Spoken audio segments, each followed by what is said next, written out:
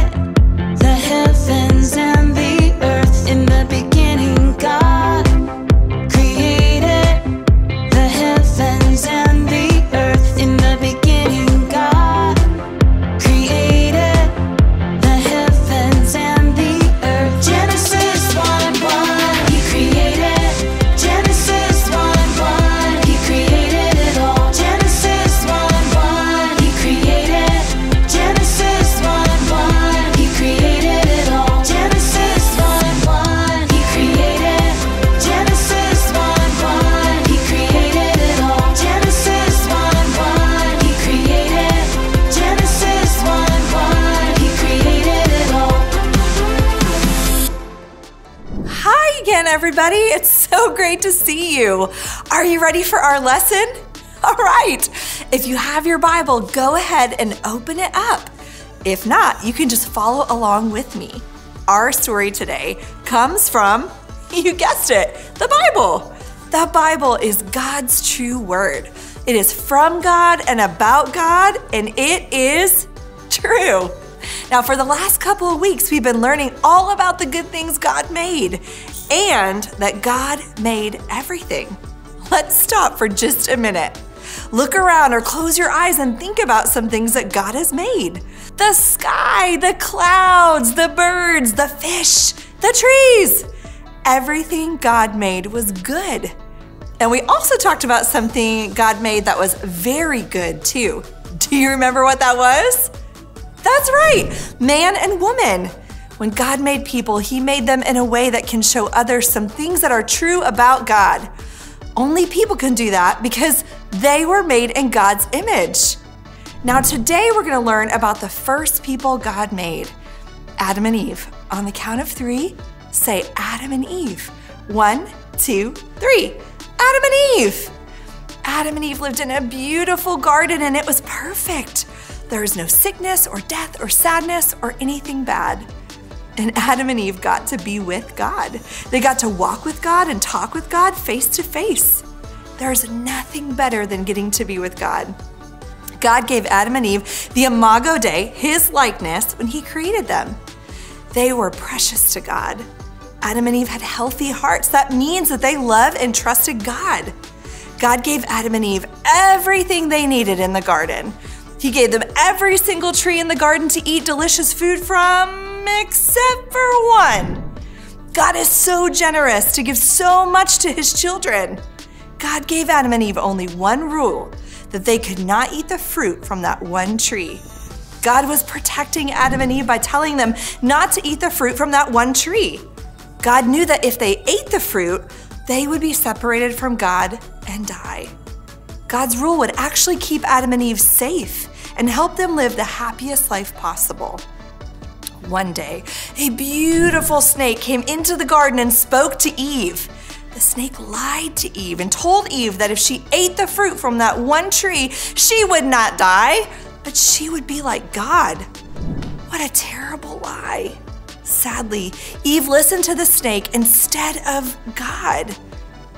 Let's see what happens in the Bible. Genesis 3 6b says, She took of the fruit and ate, and also gave some to her husband who was with her, and he ate. Adam and Eve sinned when they disobeyed God and ate the fruit. Raise your hand if you know what sin is. Sin is anything we do or think that is different from what God wants.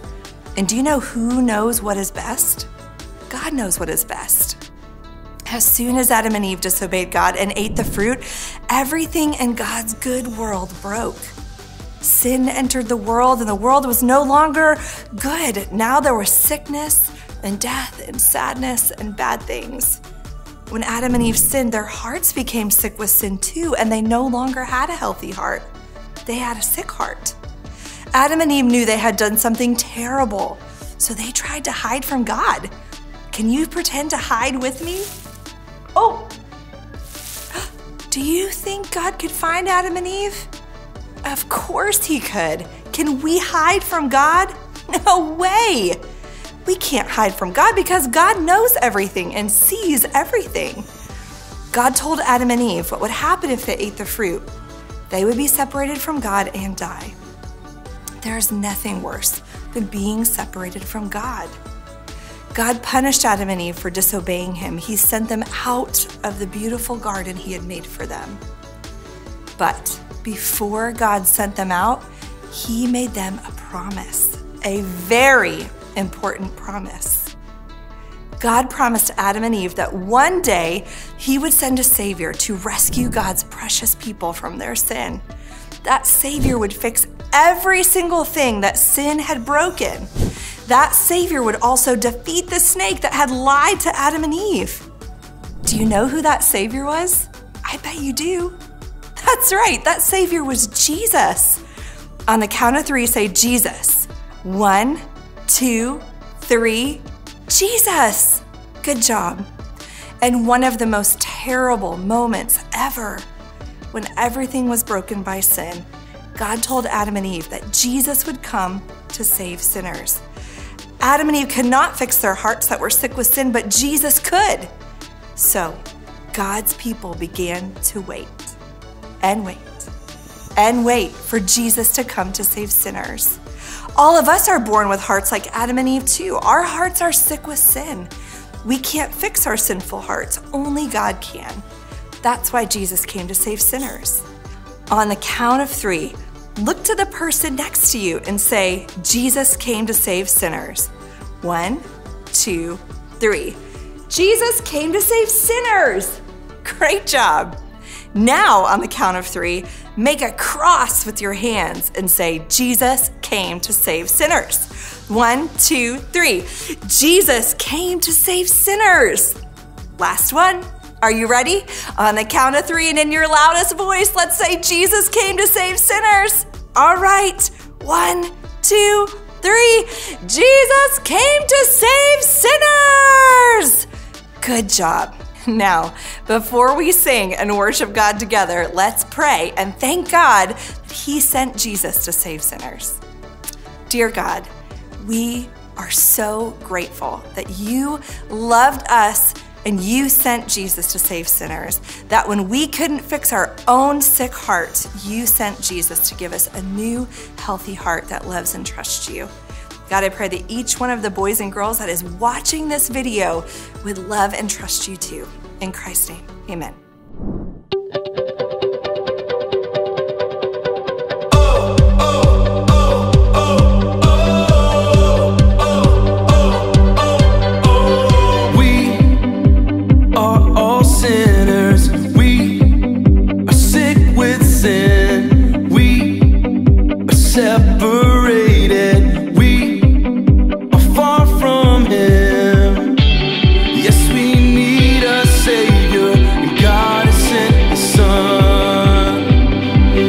Jesus came to save sinners like you and me, dying on the cross to set us free.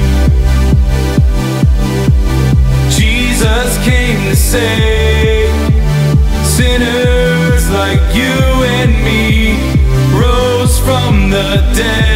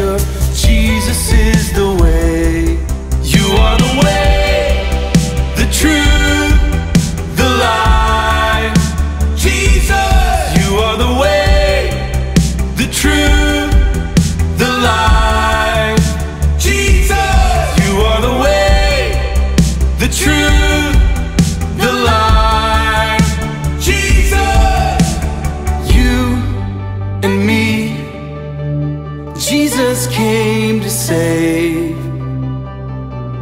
We all need a Savior, Jesus is the way. You and me, Jesus came to save. We all need a Savior, Jesus is the way.